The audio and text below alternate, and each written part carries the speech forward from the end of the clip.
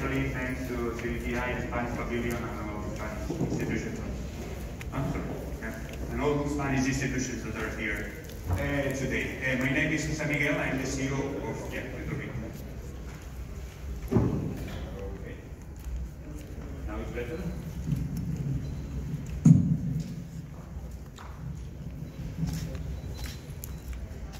Let's see now.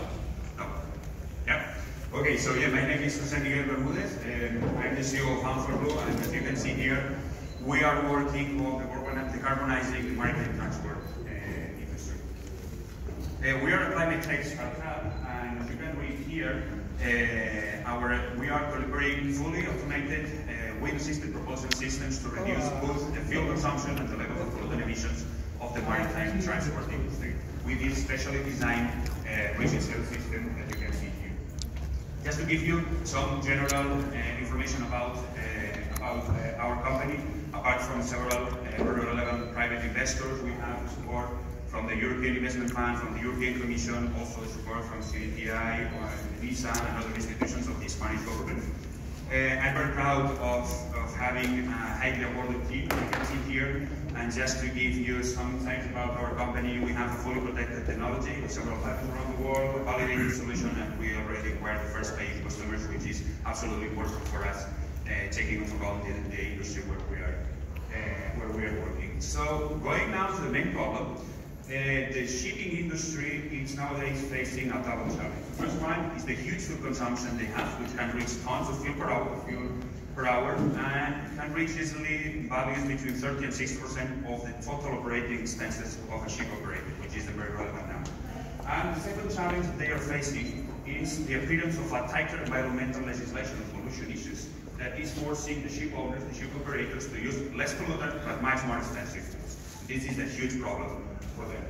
And this is a solution that we are launching into the market, as simple as that, bringing sailing back to shipping. That's exactly probably the same thing that we have been doing for the last, I don't know, 3,000 or 4,000 years, probably. So it's very simple. And how we do it, how it works. The main idea is that with uh, the system that we have designed with these cells, uh, we are uh, delivering a part of the propelling force that we need. For example, if you have a vessel that has to go at 12 knots, we are, and if we deliver 20% of the propelling force that we need to go at 12 knots, that means that we are reducing the 20% uh, by 20% the fuel consumption and proportionally also reducing by 20% the pollutant emissions that the ship is delivering to our atmosphere. So at the end of the day, it's very simple. It's a sail. Little bit particular. Uh, this is our technology, what we call e-sail. It's based on the suction sail concept, and here you can see the first unit that we delivered for our customers. In this case, it's a 12-meter unit that was retrofitted in a fishing vessel in, in Panama uh, during the last summer, and it has been operating since, since then. And just to give you also some information about the market, uh, the shipping industry is a key industry for all our economies because uh, it's responsible of transporting around 80% of the worldwide cargo and it's constantly growing. So it's a, key industry for, for practically for all our economies of the world. And we are mainly focusing on the segments that you can see here. Number one, tankers. Number two, bulk carriers. Number three, ro-ro vessels. And number four, passenger vessels, and cruises. And these segments represent between 75 and 80% of the existing probably we can add here also fishing, the fishing industry. And this is giving us a multi, as you can imagine, a multi-billion market. And probably I think that we are uh, working, as you can imagine, in one of the most global and international industries uh, we have. And how we do it? First, number one, uh, with a world-class uh, team. We are today 23 people in the team, and as you can see, we have a multidisciplinary team with people from Spain, from France, from Morocco, from Italy, or from the United States. We are mainly based uh, on, Spain nowadays. Number two, uh, what about our commercial strategy? So we are building our strategy, our growth through success, successful uh, consortiums and pilot projects with top-level international players, thinking about ship owners and our customers, ship owners, but also thinking about uh, our supply chain and our strategic partners, as you can see, here. And our market penetration strategy is mainly based, mainly based on delivering projects, delivering at least one or two installations for every single segment that is interesting for us from the market point of view. So you can see here, fishing, fishing vessels, general cargo, robots, ferries, tankers, and bulkers. Yeah, this is the first one, so the first one is already done uh, for the fishing industry. Is the first unit, the 1200 unit that we retrofitted in Panama uh, seven months ago. This is the second one, uh, the second one uh, that we retrofitted just a couple of months ago in Santander, in Spain. And here you can see that this system is even foldable. It's suitable with the shift deck.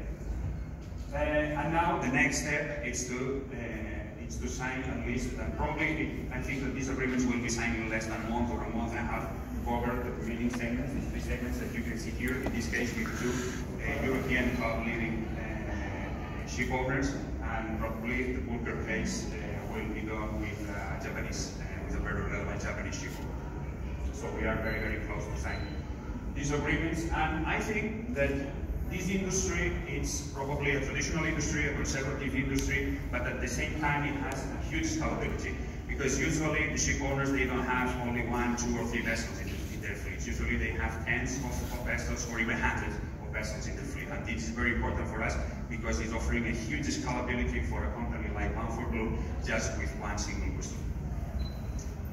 And why now? So the first point, if you remember the previous slide, is because of the two main challenges that they have, fuel consumption and the appearance of a tighter environmental legislation pollution issues, but also because the market is responding. And I think that this picture, uh, it's, it's very clear. So the maritime startup sector keeps expanding exponentially. Here you can see the, the M&A activity from 2015 to 2020 in the maritime startup sector, which is quite relevant. So just to, to, to to give you some information about the next steps. You can see here, we started with R&D, prototyping, sea trials, and now we are scaling up our technology and why we are here today. So the main point is that we will need additional funding for our growth uh, phase to scale up the technology. Until now, we have raised around 10 million euros uh, private and public funding.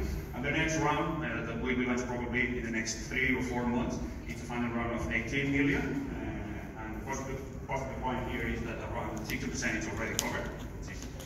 Very good. And the next step is probably why we are here today. And we are here today because our commercial strategy for the near future, we will be focused mainly on three regions in the world. Number one is Europe. Uh, imagine, we are based on, on Spain. The other one is the Asia Pacific region, which is very relevant from the from the naval, from the shipping industry point of view. And the third one uh, is the Middle East. And that's the main reason why, particularly UAE, United Arab Emirates, and in this case Dubai, uh, you can see Dubai in the slides, but I think that we can easily extend it to, to all the, to all the uh, Emirates. It's a very interesting region for us for several reasons. So the first one is because the maritime industry uh, Uh, it's a priority for the government here because just for example here in Dubai represents approximately 7% of the of the GDP of, of the emirate, which is quite relevant. The number two, and probably one of the most important, is that is because it's a, it's a strategic geographical position, and, and, probably, as you can imagine, there are a lot of a lot of vessels, a lot of ships here, especially tankers. So it's a very strategic location for us. And number three, because it's a very business-friendly area, that it's very interesting for, us to probably to establish a company, uh, a company here. So, okay, I think that that's all. Thank you very much,